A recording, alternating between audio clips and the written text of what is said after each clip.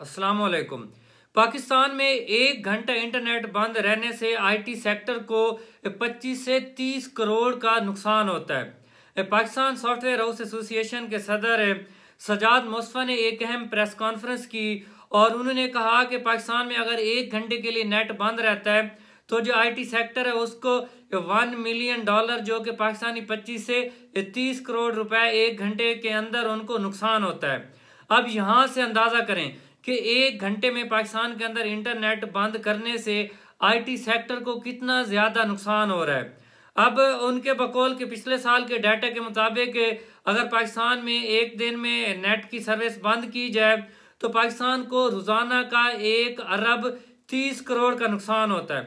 आप यहाँ से अंदाज़ा करें, एक तो ये नौजवानों को रोज़गार नहीं देते, और नौ, नौजवान जो हैं वो रोज़गार के लिए और अपनी जो इनकम है, उसके सोर्स के लिए वो आईटी सेक्टर के अंदर जाते हैं फ्रीलांसिंग के अंदर जाते हैं, मगर हुकूमत बजाय इनके कि उनको रोज़गार दे, उनको फैसिलिटेट करे, जो नौजवानों ने खुद अपने बलबोते के ऊपर आईटी सेक्टर के अंदर फ्री लांसिंग के अंदर वो अपना कोई रोज़गार अगर वहाँ पे उन्होंने बनाया हुआ है तो हुकूमत उसको भी तबाह कर रही है, सिर्फ़ किस लिए?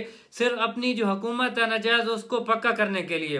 तो यहाँ से आप अंदाज़ा करें कि एक घंटे में नेट बंद रहने से 25 से 30 करोड़ और एक दिन में नेट बंद रहने से पाकिस्तान को एक अरब तीस करोड़ का नुकसान होता है। मगर हुकूमत क्या है कि वो हर आए दिन जो है कोई भी इवेंट होता है, ये नेट बंद कर देते हैं। कोई यहाँ पे जलसा जुलूस होता है, नेट बंद कर देते हैं। कोई मजहबी इवेंट होता है, नेट बंद कर देते हैं।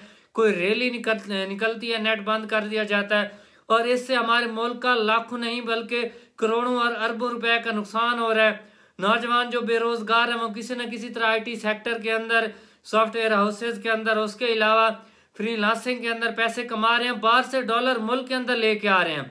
मगर हुकूमत क्या है कि जी, अपने मफाद के लिए हार आए थे नेट को बंद कर देती है तो उससे पाकिस्तान को अरबों रुपए का नुकसान हो रहा है।